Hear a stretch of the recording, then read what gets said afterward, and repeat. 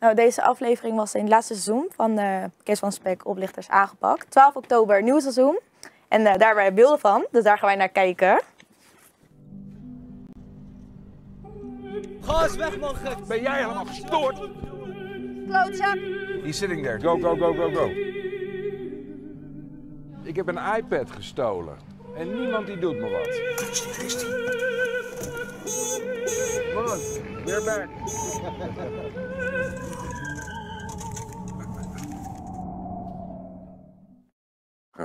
We zien hier al flink wat actie. Kan Ja. je van één van die beelden eh, ons wat meer vertellen?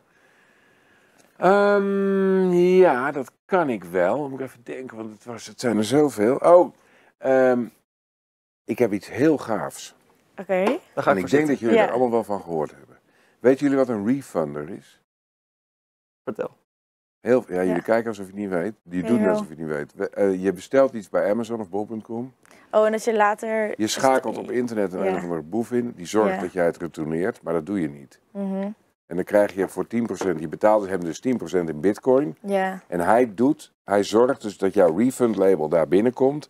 En dat Ja, ja. Amazon denkt dat je laptop het terugstuurt. Ken je dat? Ja. Ja, Zie je wel, jullie weten het ook Ja. allemaal. Ik heb zo'n vent gepakt. Echt? Ja. En dat kost Nee, maar heel dat veel. is Hebben toch jullie het wel moeilijk? grote Dat is toch- nee. nee, Maar ken je mensen die het doen?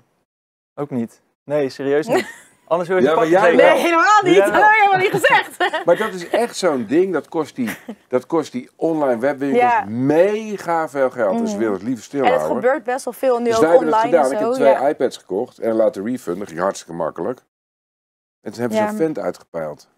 Maar was dat, was dat eh, moeilijk? Ja, best wel. Want die willen in bitcoins worden uitbetaald. Ja.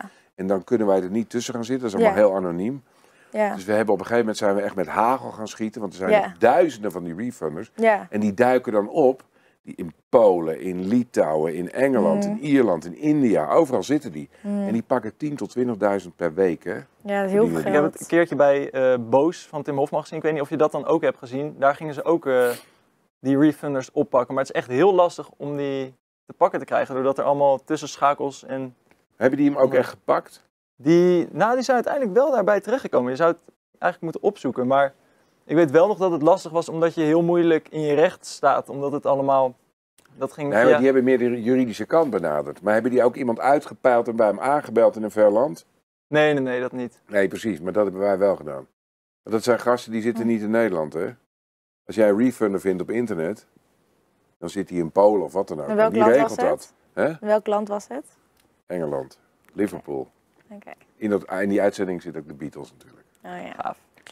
Bedankt voor het kijken. Vond je dit nou een leuke video? Vergeet dan niet te liken en abonneren. Vond je het niet leuk? Doe het dan ook. En voor de hele video, kijk in de beschrijving.